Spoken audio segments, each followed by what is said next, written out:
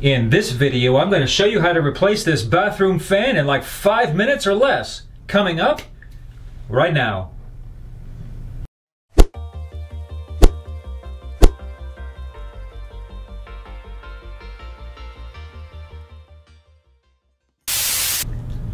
Hey everybody, Rudy here from the Home Improvement Channel with another video helping you fix things around the house.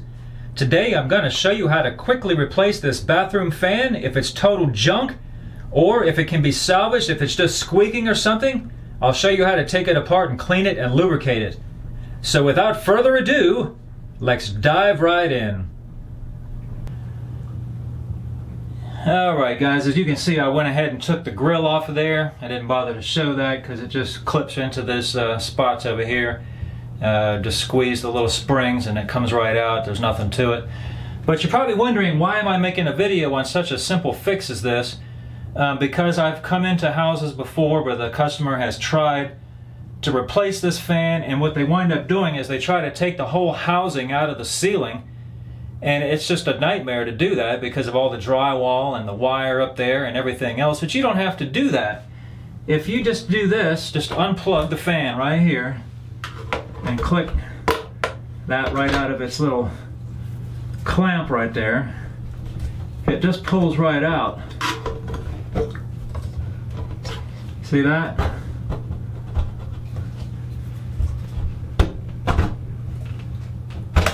Just like that. See, there's two clips on this side and one on the other side right here.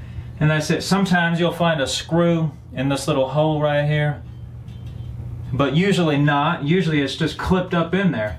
And that's it. Once you go to the store, you can buy this fan and leave the housing up in the ceiling and pull this part out of the new uh, box and take it out of the new housing and put it right back in your ceiling just like this.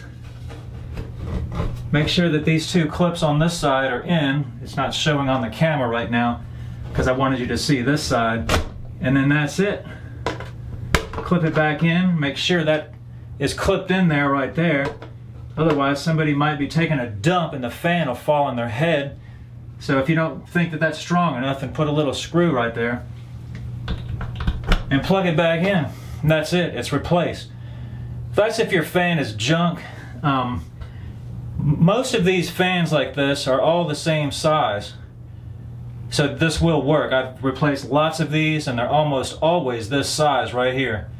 But if your fan is just squeaking, you might be able to take it apart and clean it up and oil it and I'm going to show you how to do that next.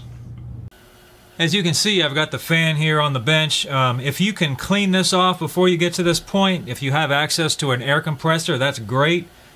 If you want to use a water hose, you can, but I recommend probably don't get the motor that wet. Um, maybe cover it with a bag or something. Uh, first thing that I would do is pull this blade off right here. Usually the shaft is sticking through right there, but for the ease of the video, I went ahead and pulled it off. Um, you might have to use your feet to hold this down and then just pull. It'll come right off. And these two nuts, pull them off first.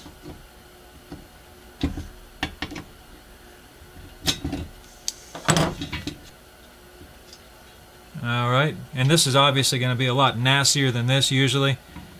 Okay, so this part here, now you can take it out and wash it completely because uh, there's nothing on there that you can really hurt.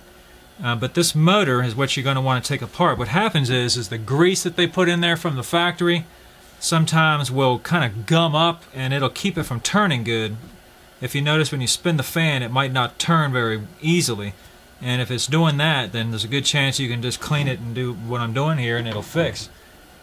So take these two screws out.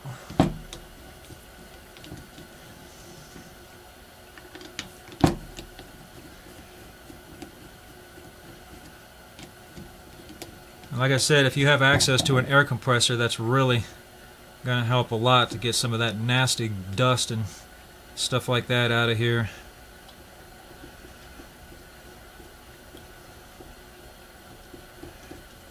I've already cleaned this up, obviously, so I didn't show that part.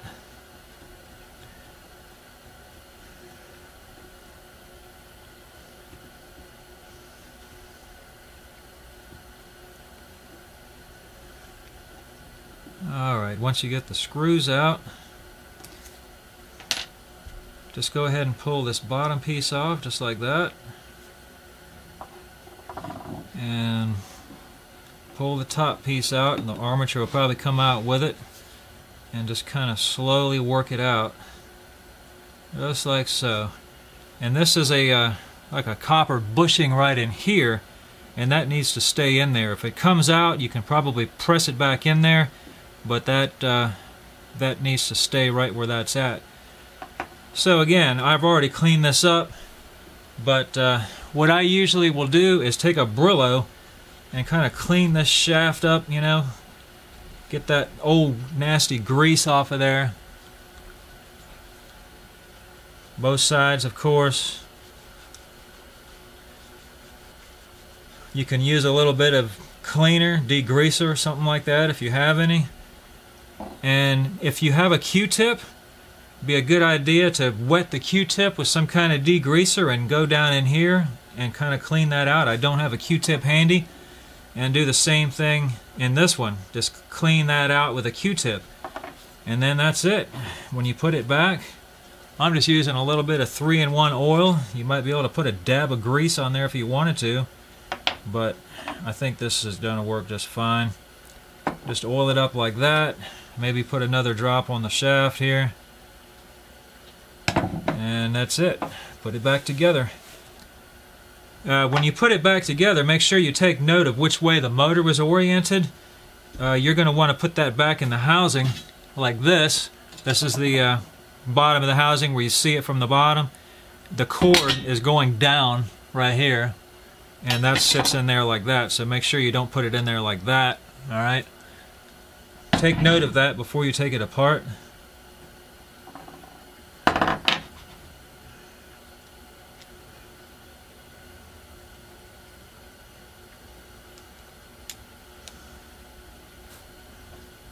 One of these is threaded and one is not. And remember that also to put the threaded one back in the right spot.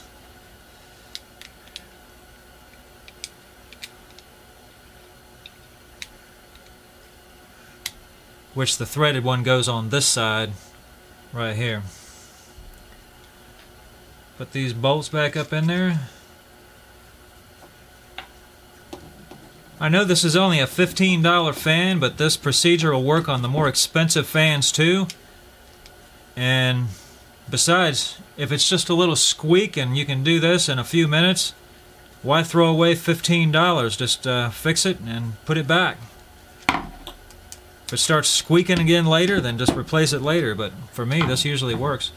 Alright, that's it. Get those bolts tight and then put it back in the housing. Remember, motor side goes on the bottom where it faces you when you put it back in the in the bathroom. Put the nuts back on.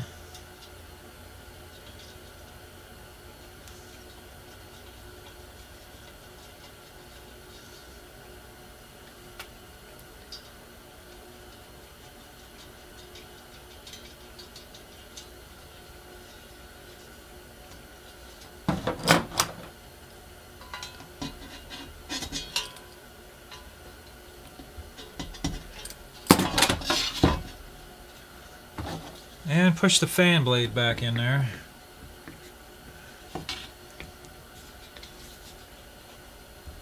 Right there when it comes through is when it's done. Make sure it spins good. And we're going to go ahead and plug it in. Oh yeah. There it is. Works like a champ, no squeaking. All right. Guys, if you've enjoyed this video, click on that thumbs up and subscribe to my channel. I come out with videos home related as often as I can. Thanks for watching.